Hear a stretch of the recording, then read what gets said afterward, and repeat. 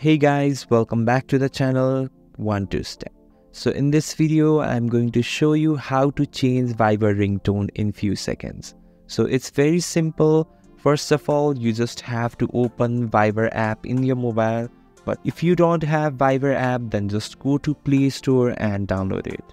But if you are using iOS, then just go to App Store and search for Viber and just install it.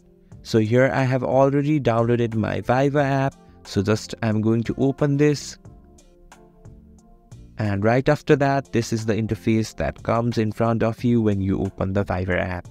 Now go to the more which is in the bottom right corner this which indicates three button just click on this and now go to settings. So here you can see the third one notification and scroll down a bit and you can see in the second last one notification sound. Just click on this. So now go to the sounds here and you can choose your ringtone from here.